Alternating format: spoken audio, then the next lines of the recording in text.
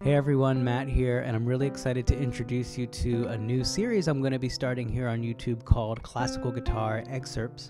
Now, excerpts in the classical music world are definitely more common among string players, brass, woodwinds, and usually when those musicians are going to audition for an orchestra or a band or something like that, they have to present excerpts instead of entire pieces of music because it's not uh, the common that a juror can hear an entire symphony or, or something like that. So typically, the excerpts that are chosen uh, are either from a very common piece, something from standard repertoire that the musician needs to know really well, or maybe it's a passage of music that demonstrates some sort of technical proficiency or musical understanding. So, in that spirit, I wanted to do the same thing with our classical guitar repertoire, whether as uh, a soloist or in a chamber music context. I wanted to present music across a variety of repertoire.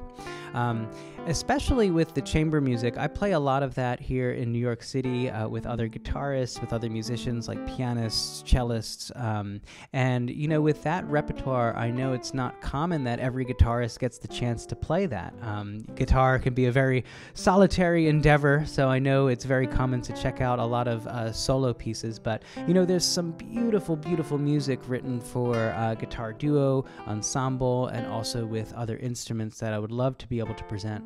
So my intention here is to present, you know, small fragments of music or excerpts and uh, be able to either uh, show you a new technical exercise that you can use from it. Maybe you walk away with a new musical uh, idea or understanding, something that you can apply to your own practice, or maybe even you're just checking out some music that you wouldn't have otherwise heard.